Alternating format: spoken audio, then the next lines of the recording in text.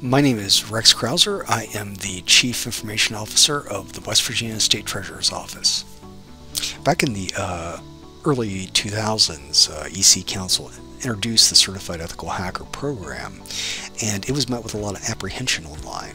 Uh, a lot of people were claiming how does someone that goes and passes a multiple choice test then call themselves a hacker? Um, while that's true, and it's still true today, it misses the larger point that EC Council was attempting to accomplish.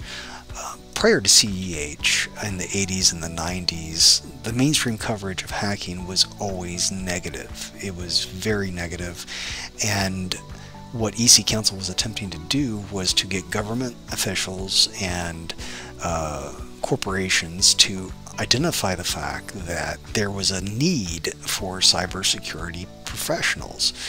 And the way that they marketed the program was extremely successful. So throughout the industry, there's large amounts of people that um, owe EC Council a debt of gratitude for the way that they've been able to take the CEH program and make it mainstream.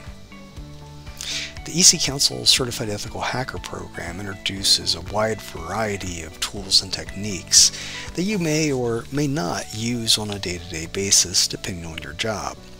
The good part about that is the fact that the cybersecurity industry encompasses every single aspect of IT.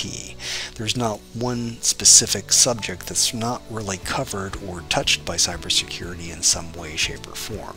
So no matter what your current background in IT, the Certified Ethical Hacker certification from the EC Council will give you the ability to judge for yourself whether cybersecurity is a path that you would like to take with your career. My favorite part of EC Council CEH program was taking the CEH practical exam. Unlike most certifications that require you to take like a multiple choice test, a, a practical exam takes place in a virtualized environment that simulates real world scenarios. Um, you'll get to attack web applications, operating systems, you'll uh, brute force passwords, and find and exploit vulnerabilities wherever you can in the environment. I had uh, so much fun taking the test. I probably spent more time uh, discovering the many ways an objective could actually be completed than I, I, needed to.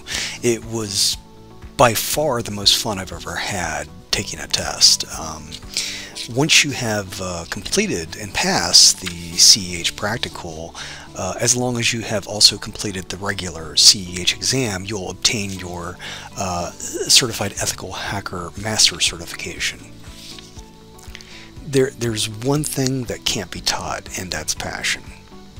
When I'm interviewing prospective employees, I, I usually get around to asking, tell me a little bit about yourself. What, what do you like to do for fun?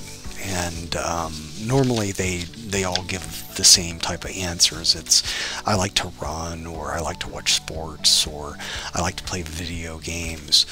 Um, that doesn't really stand out. The person that stands out is the person that says, that has a background as a network engineer and says, well, currently for fun, I'm, I'm learning how to uh, code in assembly.